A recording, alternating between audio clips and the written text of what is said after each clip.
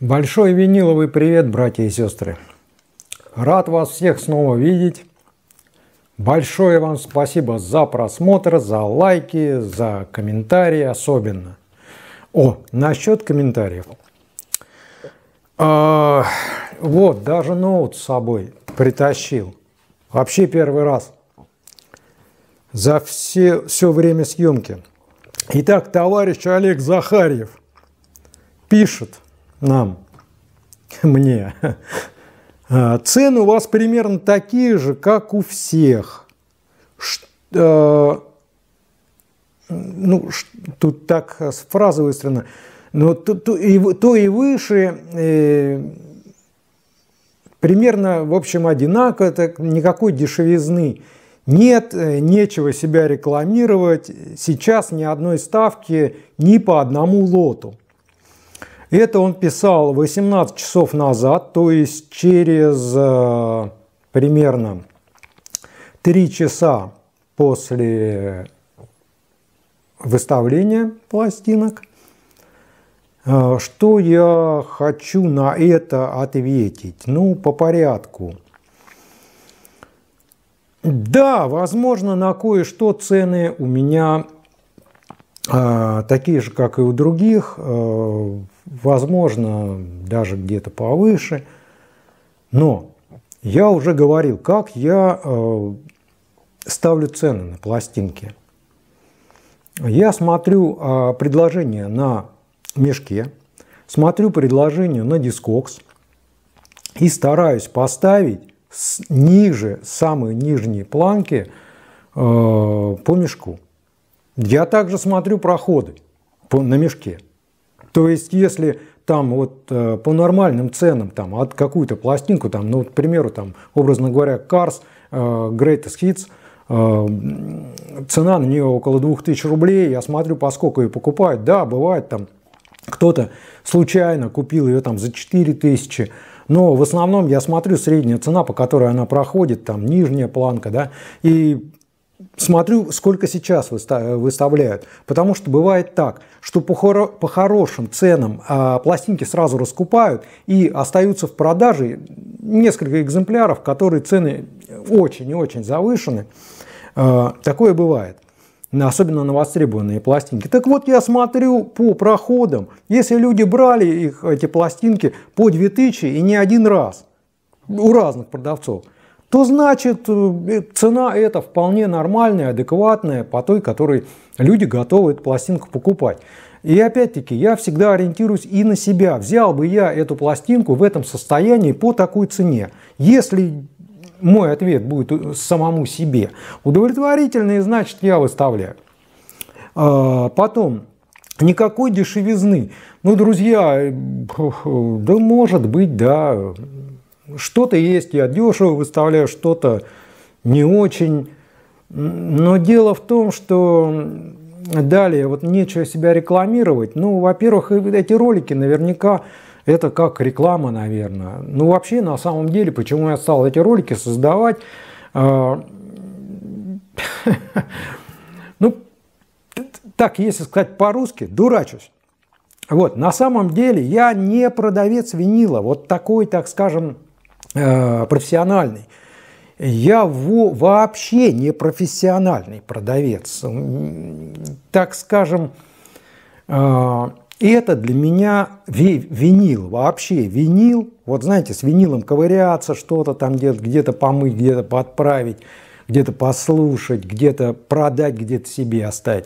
Это у меня хобби. То есть у меня, я такой же любитель, как и вы все – я, у меня нет магазина, никогда не было. Эм, я не профессион, не профи в продаже винила, понимаете? И особо рекламировать, вот видите ли, дело в том, что мое благосостояние не зависит от того, купит вот товарищ по имени Олег э, Захарьев у меня пластинки или нет, или кто-то еще. Э, слава богу, у меня тут с этим все в порядке. Да, и то есть э, эти пластинки я выставляю просто потому, что мне нравится вот возиться с винилом, и я хочу по более-менее нормальным ценам э, донести эти пластинки до вас. Не по тем ценам, когда ты заходишь в магазин, и у тебя последние волосы начинают шевелиться от этих цен. Там, вот я заезжал. Я заезжаю периодически в магазины к людям. У меня есть э, знакомые, кто держит эти магазины. Ну, само собой. Ну, не потому что у меня там канал вот мой маленький такой вывинил, или не потому что я давно занимаюсь продажей пластинок, а нет, потому что я просто давно в теме. И, естественно, мы с этими людьми знакомы. И, конечно, у них прежде всего э, им нужно вы, выставить пластинки как можно дороже. Вот что и делают профессиональные продавцы. Это их, так образно говоря, работа. Они с этого зарабатывают денежку. Бога ради. Бога ради. Кто же против? Но дело в том, что и иные продавцы, не все, не все, на мешке есть очень много хороших, и опять-таки с кем-то я даже знаком, с кем-то нет, очень и очень адекватные продавцы, именно продавцы винила. Да? А есть те, кто ну, вот краев не видит совершенно. То есть вот надо заработать как можно больше. Я же, друзья, я не лох, я прекрасно понимаю, я в теме, опять-таки говорю, я понимаю, сколько стоят эти пластинки, за сколько даже эти люди брали эти пластинки. Иногда даже знаю, где они их брали. Вот. И когда я вижу, что ценник на них э, вырастает после выставления на мешок в 5-10 раз – это, это не уму, не сердцу, что называется. Просто смотришь и плачешь. И вот а, по этой, кстати, причине я как раз и занялся, так сказать, продажей винила. Это где-то случилось, возможно, лет, наверное, 20 назад. А, я вообще, на самом деле, всегда занимался военным антиквариатом, и люди, кто этим занимается, они до сих пор меня знают, как Стас Бора – я был модератором на ВВ-2 и на Лепштандарте, где только не был. Вот, э, но занялся винилом сначала параллельно, потом вот в основном именно по той причине, что не хотелось себя как-то ощущать дураку.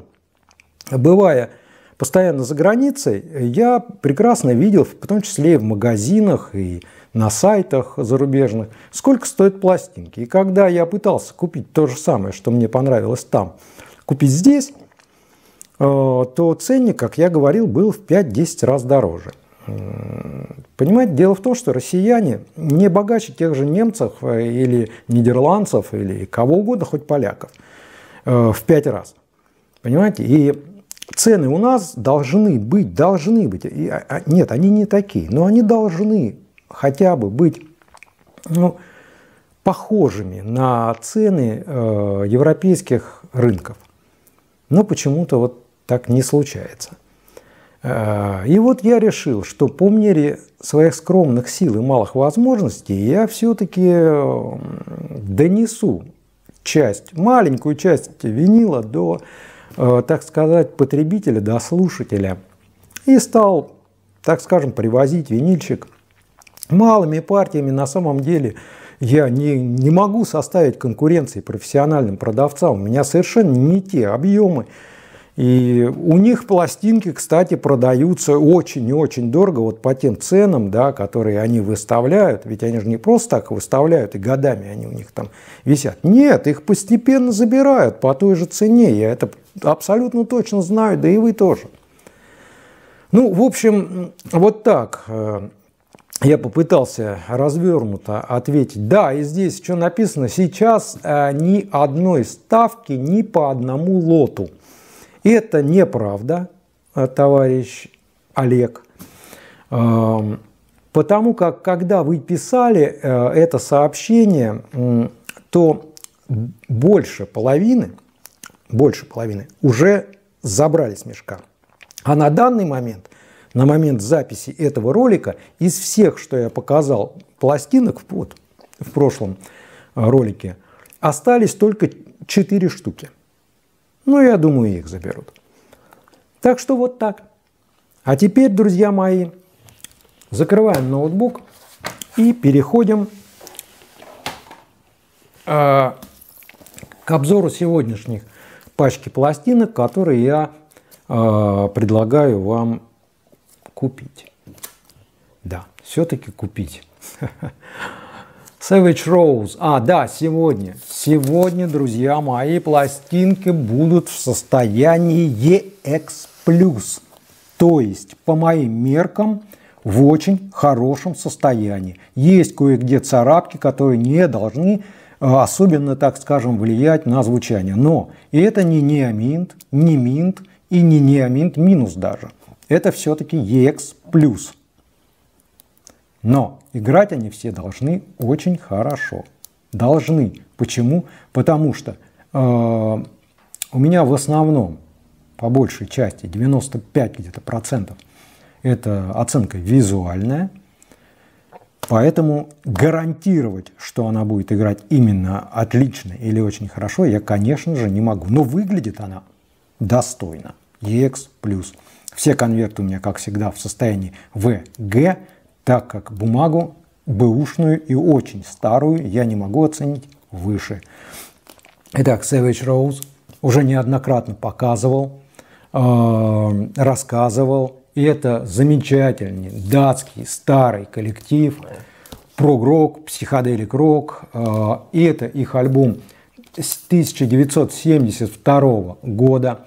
Производство Дания, Коллектив датский, и это датский, оригинальный пресс 1972 года, название альбома «Торжество смерти». Э, на мешке их будет довольно много.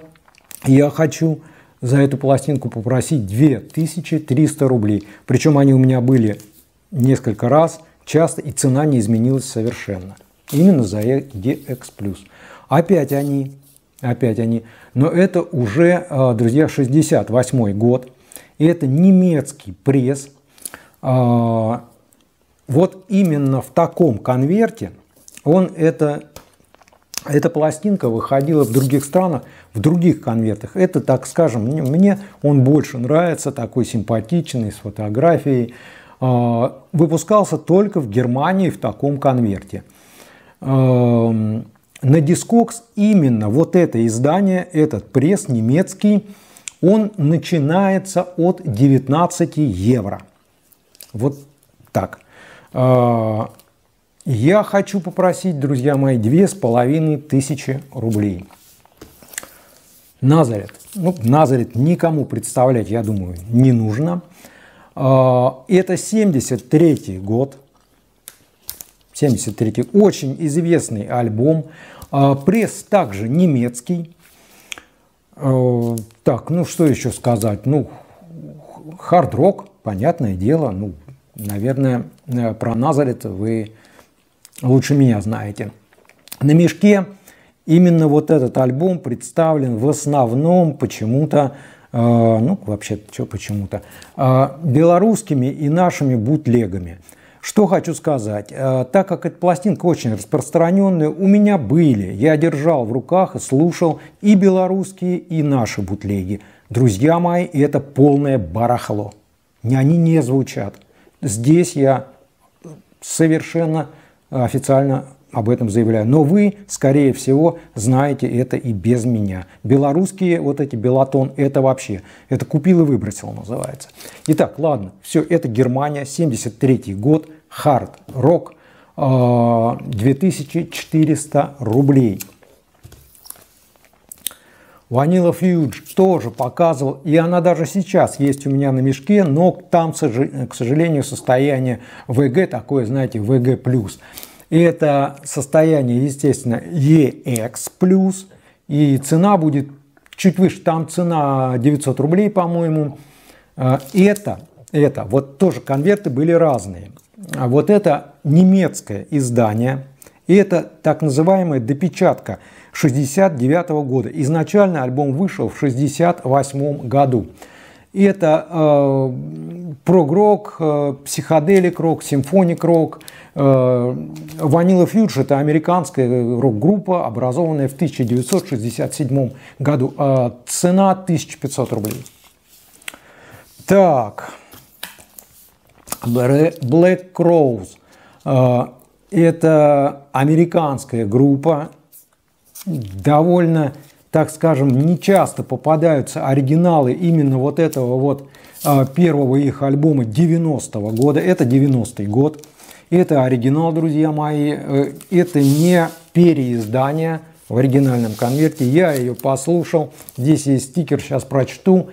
Э, что сказать, э, на Discogs именно это издание начинается от 35 евро. На мешке сплошь бутлеги будут. Там а, оригинальных изданий только две штуки я увидел, специально посмотрел. Одно стоит 5 900, другое 7 500. Можете сами посмотреть, забейте, пожалуйста. Так, что еще сказать? Ну, что это хард-рок, рок-н-ролл, блюз-рок. Итак, что написано на стикере? Прослушал всю, звук супер – Выше EX плюс точно, но так как есть немного тонких царапок и чуть-чуть песочка, между песнями ставлю только EX плюс. Ну и учитывая все вышесказанное, ценник я поставлю на нее, друзья мои, 4000 рублей. Эсперанто, э, англо-бельгийская группа, старая группа, рок-группа, она выпустила всего три альбома. Это вот Last Tango. Э, это последний их альбом. Больше они ничего не выпускали. Э, на мешке я видел три предложения. Самый дешевый 3700, по-моему. Самый дорогой 8. Вот. А что за музыка? Это прогрок. Это прогрок, друзья мои. Это 75 год, э, английский пресс. Ладно, оригинал говорить не буду, потому что новоделов, по-моему, их не было. Ну и слава богу. Э, пластинка не дешевая, 2800 рублей. Не дешевая по моим меркам, так скажем, по, по моим э, пластинкам. Муди Блюз. Ну, понятно, все, друзья, Муди Блюз. Альбом называется «В поисках утраченного аккорда». Это 68 э, год, английская, английский пресс, конверт разворотный. Э, насчет первого пресса, друзья, не знаю, не, не, не, вот не, в этот раз не заморачивался. Почему? Потому что э, в данном случае нет смысла. В 68 году эта пластинка выходила много раз. И э, какой это по счету там пресс, не знаю. Э, но это точно 68 год. Психоделик рок, симфоник рок, 1700 э, рублей. Так, а Фрэнки едет в Голливуд. Друзья, двойник.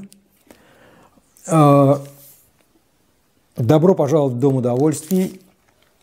Разворотный оригинальные внутренние.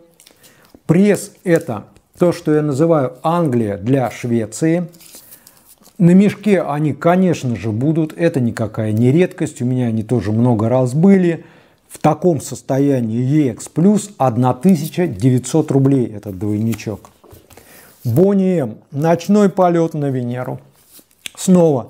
Опять-таки, друзья, конверт разворотный, как положено – пресс немецкий 78 года. А, и есть здесь также почтовые карточки. Ну, я их не буду доставать, вот они здесь лежат. Почтовые карточки чистые, не разорванные, все как и должно быть. А, на мешке тоже их валом. Смотрите, сравнивайте. Я хочу э, предложить по цене 1900 рублей. Если с карточками, думаю, это вполне себе нормально.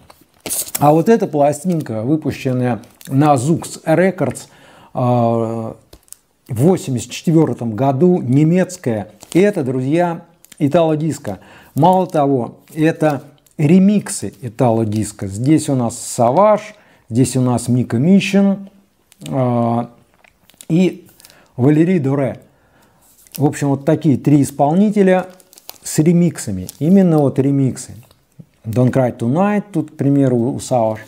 Э, редкий, редкий сборник ремиксов итало-диска. Он, э, друзья мои, на 45 скорости, но довольно длинный. Там по три композиции с каждой стороны. Э, но так как это все-таки не полноценный LP, так скажем, а все-таки, наверное, мини-LP на 45 скорости, ну 45 скорости это хорошо. На самом деле это замечательно. Тысяча рублей, думаю, будет нормально. Нормально. Даже несмотря на то, что он редкий. А вот этот Digital Sound, у меня были такие пластинки один или два раза. Это Manuel's London Super Sound Orchestra. Исполняет известные композиции, тут в том числе и Beatles есть, и Облади-Облада. А, кто-то мне как-то, ну, в общем, так скажем, есть мнение, что эта пластинка, она больше никогда, вот один раз выпускалась, и больше этот коллектив нигде не звучал и не участвовал. Было мнение, что это какая-то демонстрационная пластинка, которая продавалась вместе с каким-то проигрывателем. А, это 79 год, пресс немецкий и, я так скажу, довольно редкий. Но так как это все слухи насчет демонстрационности этой пластинки – я так полагаю, ну, 800 рублей она всяко стоит. Почему? Потому что я посмотрел прошлые продажи. Год назад она у меня продалась в таком же состоянии за 800 рублей, причем ушла сразу. Замечательная, кстати, красивая музыка. Далее, друзья, вот этот сборник Hit News. Я вот тоже э, специально включил в этот а, обзор. Это тоже немецкий пресс, это, по-моему, 80 Э, что ли, год, э, да, это 84 год, немецкий пресс, довольно редкий. Возможно, это какой-то вот, может быть, какой-то рекламный пресс, не знаю. Но здесь замечательные, кстати, исполнители. Здесь вот помимо самого вот Limahl, да, Тут у нас и Ricchi e Poveri есть, Splash, Hypnosis, Eddy Grant, э, Газебо, Ким Уайлд, Дюран Дюран, Тина Тернер. В общем, вот так. Но, но, в чем здесь редкость, друзья? Здесь мне попались оригинальные наклейки, которые должны быть. Это оригинал оригинальные наклеечки. Обычно их, конечно же, не бывает. Их в те 80-е годы люди куда-нибудь клеили на кассеты, на прочее. Но здесь попалось. Это чрезвычайно редко э, встречается. Такое одно предложение есть на мешке, ну без наклеек, конечно. Э, состояние там VG+, стоит э, у продавца эта пластинка 800 рублей. Я в EX Plus вместе с наклейками хочу попросить, друзья мои, 1200 рублей. The Art Company. Хорошая голландская группа, прославившаяся тем, что написала известнейший хит Сюзанна. Выпустили они всего два альбома. И это Голландский пресс, как и должен быть, голландская группа, голландский пресс, 84 год. В данном случае э, говорить первый пресс, не первый пресс, никакого смысла нет. Это вам не какие-нибудь ранние дипеплы. Поэтому 1300 рублей. Так же, как, кстати, и в прошлый раз у меня она была. Один из лучших, на мой взгляд, сборников э, Hard and Heavy – Э, это вот такой вот голландский хард-рок 83. Должен он быть с, с постером, у меня он, кстати, с постером, но здесь постер кто-то помыл уже. Это 83 год, а, на мешке их в данный момент нет. Почему? Потому что их разбирают сразу. Просто вот люди, кто-то выставляет их, бац, и нету. Ну, правда, на мешке что-то, по-моему, давно не было. Было как предложение проскакивало. Итак, что написано на стикере? Есть тонкие царапки, прослушал два раза. Звук не ниже EX+, твердо. Вот, ну, группы вы сами видите. Группы здесь, конечно, бомбовые. Поэтому я и сказал, что это один из лучших сборников Hard and Heavy. 1800 рублей этот сборник стоит. Группа «Утопия», да, э, это, как я при распаковке говорил, э, у меня был новодел такой, это не новодел, это 74 год, э, голландский пресс, теперь вот, слава богу, оригинал. Здесь конвертик чуть надорван и заклеен скотчем с внутренней стороны. И это все учтено, друзья мои, в цене. Поэтому я и говорю, что конверты все ВГ. Потому что с таким надрывом нельзя по-другому, даже, наверное, ВГ минус по моим меркам. А, ну, это прогрок, АУР, естественно, 1500 э, рублей.